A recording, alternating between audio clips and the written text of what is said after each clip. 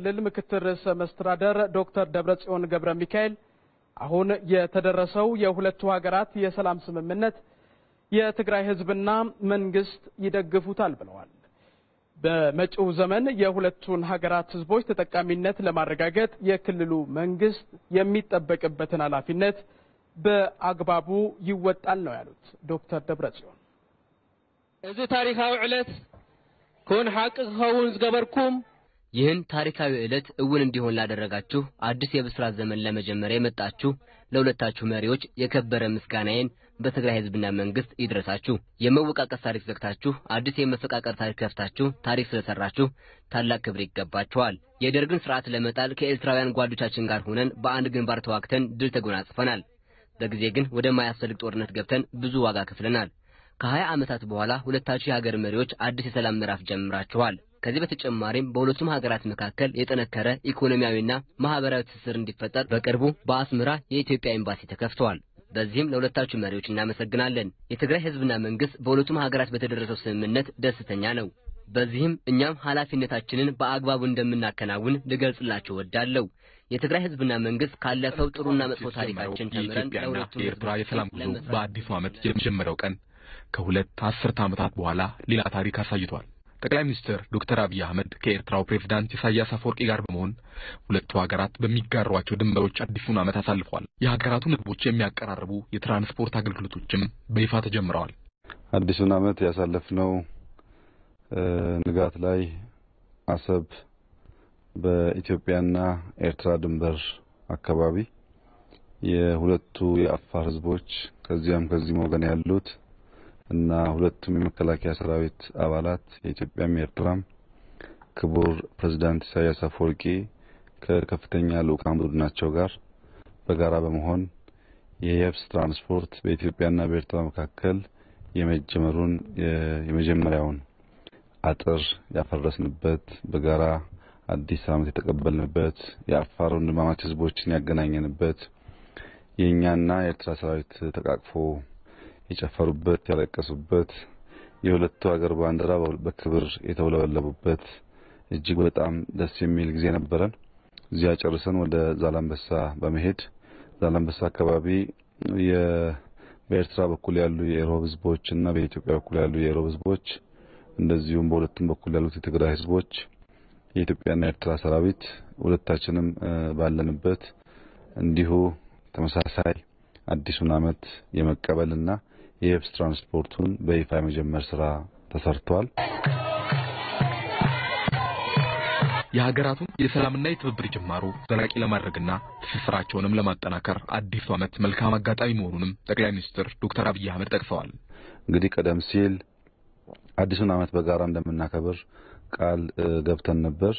ይህን እግዚአብሔር ረድቶን የኢትዮጵያና ኤርትራውያን ፍላጎትም ተሳክቶ ዛሬ ድንበር አካባቢ የነበረውን ምሽግ አፍርሰን በጋራ ዳስ ጥለን በጋራ አዲስ ዓመት ተቀብለናል። አዲስ ዓመት ስንቀበል አዲስ ተስፋ ስላለ ሰላምና ተስፋን ደርቦ መቀበል ቀጥሎ የሚጠብቀን challenge ለሚጠብቀን ስራ አጋዥ ስለሚሆን በዓሉን በጋራ ማክበር አስፈልጓል።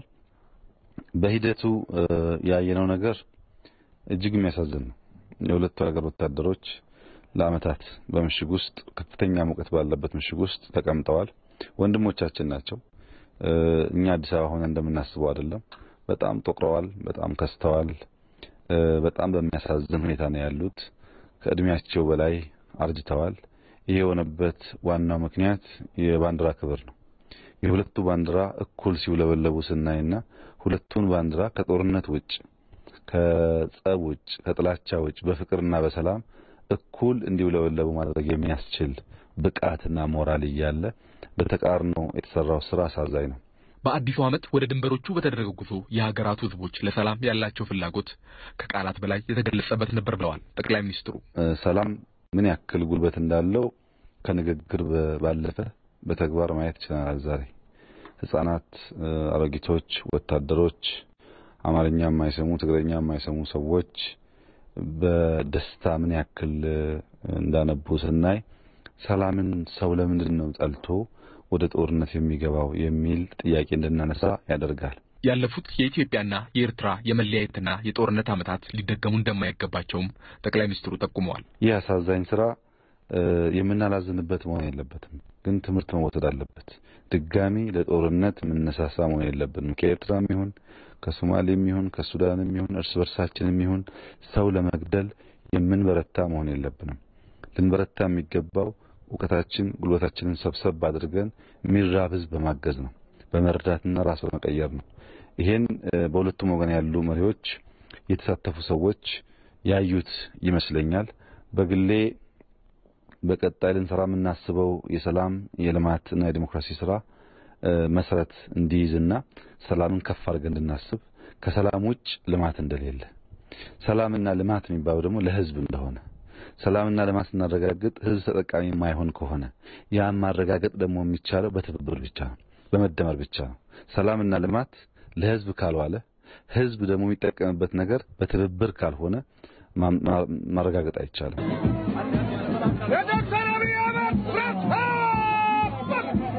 ጠቅላይ ሚኒስትሩ በድንበር አካባቢ የነበሩ የመከላከያ ሰራዊት አባላት ትኩረት በቀጣይ ወደ ልማት እንደሚቀየርም ጠቁመዋል። የኢትዮጵያ መከላከያ ሰራዊት ከዛሬ ጀምሮ ድንበር አካባቢ ላይ የነበረውን tense የነበረውን የጦርነት ስሜት በከፍተኛ ደረጃ ቀንሶ ወደ ካምፕ በመሰብሰብ የሚያገግምበት የሚሰለጥንበት ራሱን የሚያበቃበት ሁኔታ ይፈጠራል። በኤርትራም በኩል እንዲሁ ይደረጋል።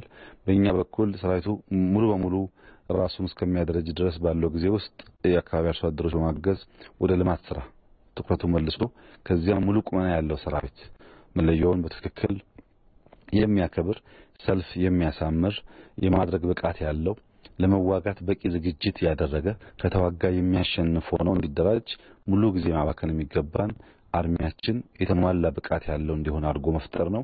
ይህ በቀጣይ የምንሰራው ስራ ይሆናል። የመከላከያ ሰራዊት restructure ተደርጓል። በአዲሱ አደረጃጀት መሰረት ያለውን ኃይል ሰብስቦ ራሱን አብቅቶ የኢትዮጵያ ሉዓላዊነት ለመጠበቅ በልማት ስራዎቿ ለመሳተፍ የህዝቦቿ ጠባቂና የዚች ክብርት ባንዲራ አለኝታ መሆኑን በድጋሚ የሚያረጋግጥበት ዘመን ከፊታችን እንዳለ ይሰማኛል።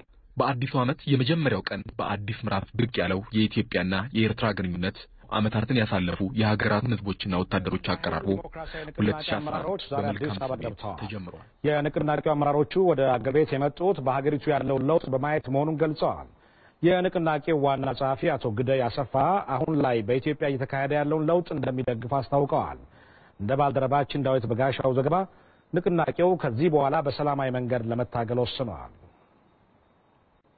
በዚህ አዲስ ዓመት ወደ ሀገራችን ለመግባት የመጣ ነው። ለውጥ ደግፈን ነው ያለው ለውጥ ደግፈን ወደ ሀገራችን ገብተናል።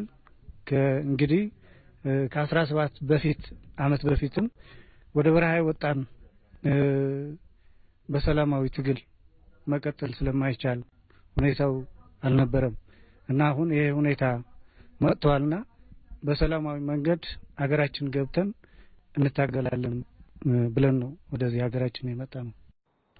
የንቅናቄውን አመራሮች የተቀበሉት የውጭ ጉዳይ ሚኒስትር ዴኤታ ዶክተር አክሊሉ ወልደ ኃይለ ሚካኤል በበኩላቸው ከመንግስት የተለየ ሀሳብን ይዘው በውጭ ሀገሮች ሲታገሉ የነበሩ ኃይሎች ወደ አገር ቤት መግባታቸው ዲያስፖራውን ወደ ልማት ለማስገባት ትልቅ አቅም ይፈጥራል ብለዋል። ይሄ የዲፕሎማሲውን እያቀለለው ያለ ነገር ነው ብለን ነው የምንወስደው። ከዲያስፖራው ጋር ሚስዮኖቻችን የሚያደርጉት engagement አንዳንድ ጊዜ ከበድ የሚልበት ሁኔታም ነበረ። ሀገር ውስጥ ገብተው በቀጥታ ከመንግስት ጋር dialogue ኡ ሲጀምሩ ሚስዮኖቻችን ዲያስፖራውን ወደ ልማት ለማስገባት ዲያስፖራው ኢንቨስት እንዲያደርግ በእውቀት ሽግግር እንዲሳተፍ በአጠቃላይ በአገር ግንባታ እንዲሳተፍና በዲሞክራሲ ግንባታም የራሱን አስተዋጽኦ ማድረግ እንዲችል በቀጥታ በሚስዮኖቻችን በኩል ሳይሆን አገሩ ተመልሶ እንደሌላው ዜጋ ከፍተኛ ሚና የሚጫወት የሚችልበት ሁኔታ ነው እየተፈጠረ ያለው። ስለዚህ የኛ ያቀለዋል አጋዥ ኃይል ነው፣ የተማረ ኃይል ነው። ስለዚህ የተደራጀ ኃይል ወደ ሀገር ውስጥ ሲገባ ዲፕሎማሲያችንን ያቀለዋል ብለን ነው የምናስበው። በተጨማሪም የቡድኖች ወደ ሀገር ቤት መግባት ለገጽታ ግንባታ ስራ ከፍተኛ አስተዋጽኦ እንደሚኖረው ዶክተር ደብረጽዮን ገብረ ሚካኤል አሁን የተደረሰው የሁለቱ ሀገራት የሰላም ስምምነት የትግራይ ሕዝብና መንግስት ይደግፉታል ብለዋል። በመጪው ዘመን የሁለቱን ሀገራት ሕዝቦች ተጠቃሚነት ለማረጋገጥ የክልሉ መንግስት የሚጠበቅበትን ኃላፊነት በአግባቡ ይወጣል ነው ያሉት ዶክተር ደብረጽዮን። እዚ ታሪካዊ ዕለት ክውን ሓቂ ክኸውን ዝገበርኩም ይህን ታሪካዊ ዕለት እውን እንዲሆን ላደረጋችሁ አዲስ የብስራት ዘመን ለመጀመር የመጣችሁ ለሁለታችሁ መሪዎች የከበረ ምስጋናዬን በትግራይ ህዝብና መንግስት ይድረሳችሁ። የመወቃቀስ ታሪክ ዘግታችሁ አዲስ የመፈቃቀር ታሪክ ከፍታችሁ ታሪክ ስለሰራችሁ ታላቅ ክብር ይገባችኋል። የደርግን ስርዓት ለመጣል ከኤርትራውያን ጓዶቻችን ጋር ሆነን በአንድ ግንባር ተዋግተን ድል ተጎናጽፈናል። በጊዜ ግን ወደማያስፈልግ ጦርነት ገብተን ብዙ ዋጋ ከፍለናል። ከሀያ ዓመታት በኋላ ሁለታችሁ የሀገር መሪዎች አዲስ የሰላም ምዕራፍ ጀምራችኋል። ከዚህ በተጨማሪም በሁለቱም ሀገራት መካከል የጠነከረ ኢኮኖሚያዊና ማህበራዊ ትስስር እንዲፈጠር በቅርቡ በአስመራ የኢትዮጵያ ኤምባሲ ተከፍተዋል። በዚህም ለሁለታችሁ መሪዎች እናመሰግናለን። የትግራይ ህዝብና መንግስት በሁለቱም ሀገራት በተደረሰው ስምምነት ደስተኛ ነው። በዚህም እኛም ኃላፊነታችንን በአግባቡ እንደምናከናውን ልገልጽላችሁ ወዳለሁ። የትግራይ ህዝብና መንግስት ካለፈው ጥሩና መጥፎ ታሪካችን ተምረን ለሁለቱም ህዝቦች ጥቅም ለመስራት ዝግጁ ነን።